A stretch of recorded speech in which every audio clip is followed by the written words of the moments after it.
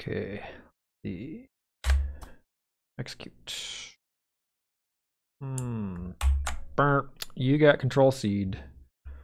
Took too long. Dear PowerShell, why are you sometimes so slow?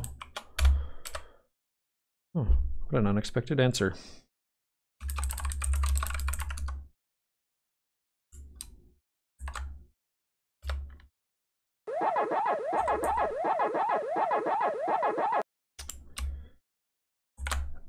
So have fun in the shell. Even errors can be fun.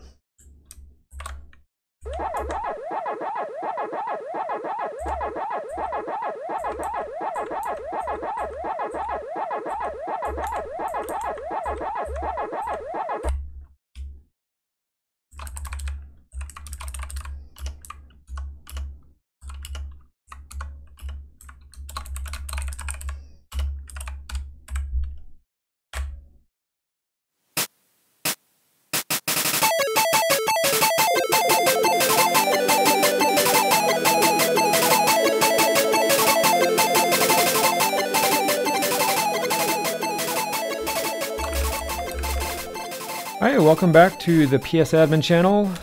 My name is Mark, the PowerShell admin. And uh, the full title of today's episode is is hash tables in PowerShell are rad and you should learn them. Even you.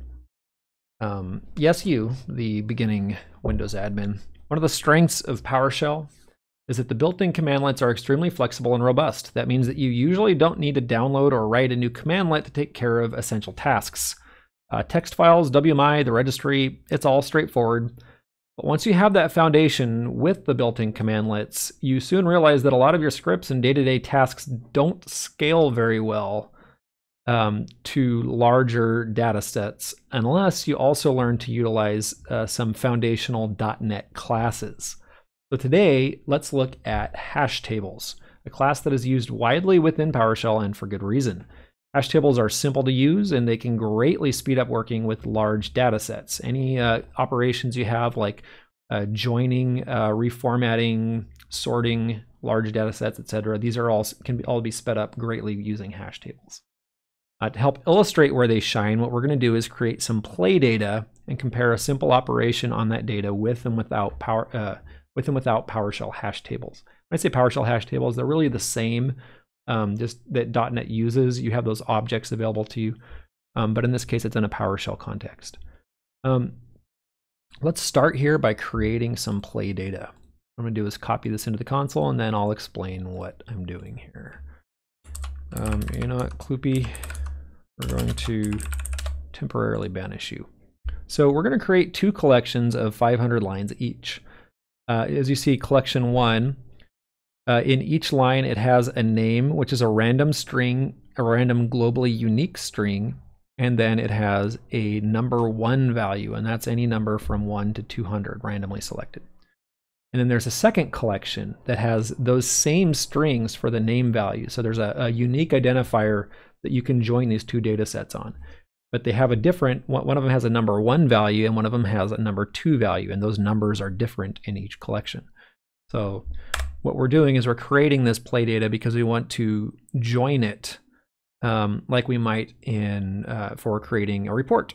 Um, for instance you might have uh, a request to generate reports from all the computers in active directory and then join that to uh, say your asset your IT asset management's list of the computer names and when their warranties expire or some other um, maybe the cost of the computer. So you can see how much um, what the expenses that's out there being used by you know different departments. Um, hopefully you're not doing that after the fact in your organization but I don't know. The way that we can do we might do this uh, initially as a beginning admin would be using where object. And I'm going to go ahead and show you how uh, that construction might look. We're going to create this resultant collection that has the string name, uh, that unique identifier, and then both the number one value from the first collection, which is what we're starting with, and it's going to look up the number two value for that same name from the second collection and create this new collection. Um, there we go. So you'll see that didn't take too terribly long, um, although it's not really very complicated. To get an idea of uh, the performance of this operation, we're going to use a, a command line I really like called measure command. What it does is it tells you how long it takes to run whatever you put after it in the curly braces, whatever script you supply. So in this case, with these two 500 item lists that are basically, it's partly the same data that we're joining together, it took about 2.4 seconds, 2.4 or 2.5 seconds. Um, now let's see how long it takes if we do 1,000 item lists. All right, so we've got that x value, or that x variable, by the way, defined how large the collections were. You can see I started up here with 500.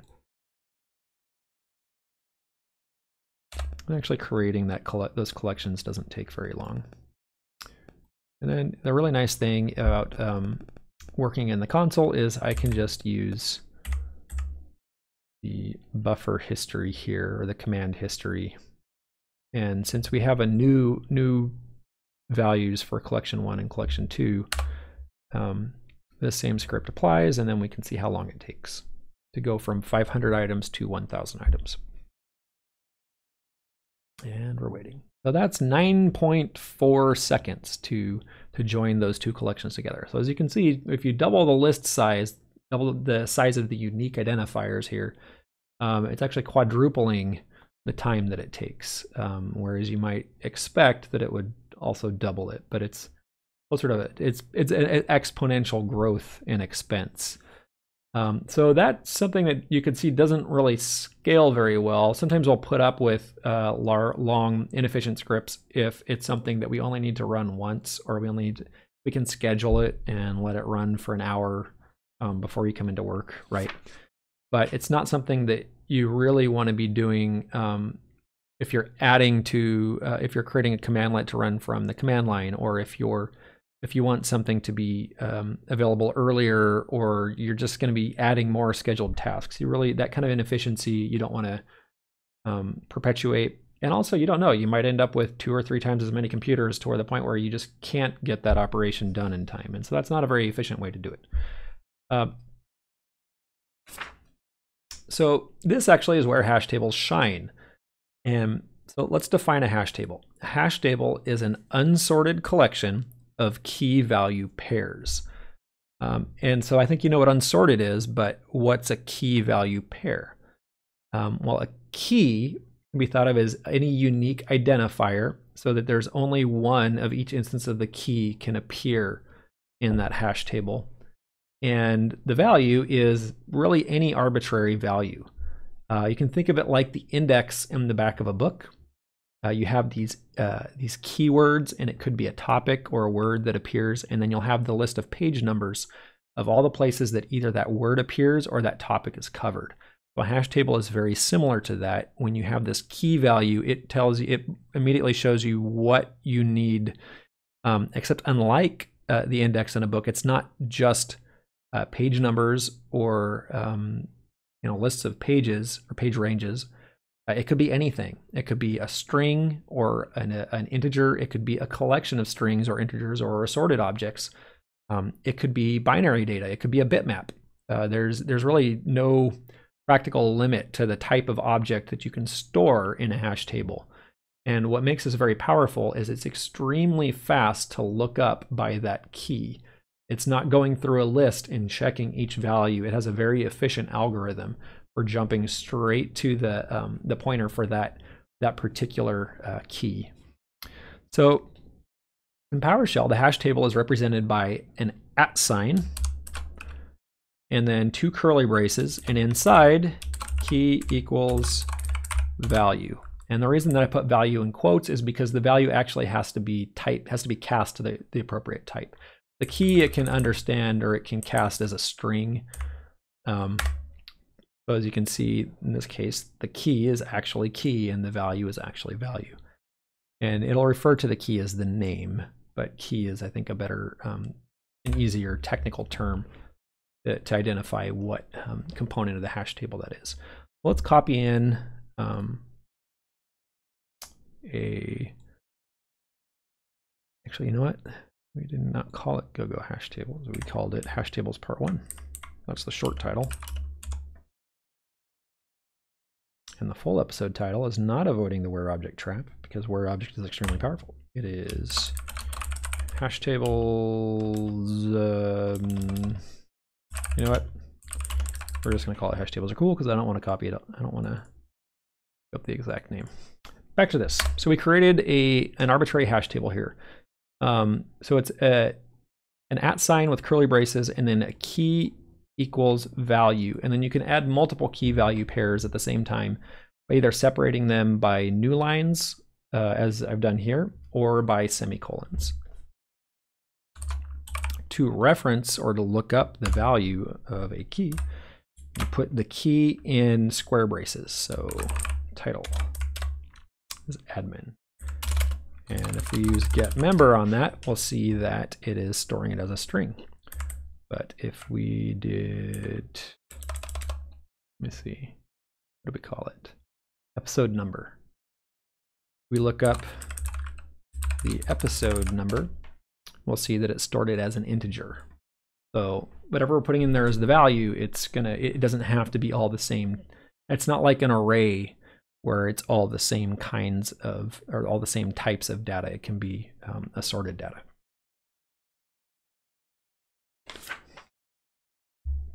Let's look at um, let's look at how much faster that uh, particular this result uh, creation, where we're splicing those two data sets together. Let's see how much faster hash tables could make this for us. We're going to start by creating an index object that we're actually going to use in place of the collection two. So we create an index object. Oops, not clear history, although. Um, okay, so we're creating an an empty hash table called index, and then for each line in collection two, we are adding or adding a, as a key the name string, and then as a value number two.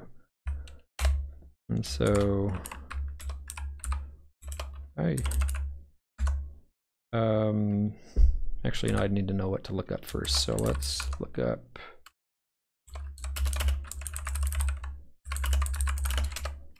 All right, so if I wanted to look up this particular item, it's going to show me the value for number two in that in that collection two. And then we're to create the result object in this way without using where object. Um, it's, it's, kind of similar. So we start out by creating a new object that has both of the attributes of collection one, which is the name and the number one. And then we use that index uh, hash table to populate the value of number two. So when we get to the one that has this particular name, it's going to have that value. And I don't know if you could tell, but that was quite a bit faster than it took us using the where object method. So let's actually quantify all this and see how much how long it's taking. Um, oh, you know, I need to do is so I, I told you that the index um, or the hash table has only has to have a unique key. You get errors if you try to put the same key in twice. So to avoid that, I am going to All right. Bear with me just a moment here. All right, so the, the full operation that we're um, full operation that we're running here and we're measuring as the creation of the index, uh, the population of it, using uh, collection two, and then combining that with uh, collection one for the result variable. So let's go ahead, see how long that took. Okay, so that took about 0.35 seconds. Now, if you remember, it was well over nine seconds to do it with where object. So this is a much faster and importantly, it's more scalable method for uh, combining the data sets. Essentially what you're doing here is you're creating your own mini relational database with that index um, so that it has a very fast way to come to pull uh, the data for those unique identifiers. Anyhow, thank you so much for watching the video. Uh, in part two with hash tables, we'll look at select object because if hash tables are rad and select object is rad, then using select object and hash tables together is super rad. Take care.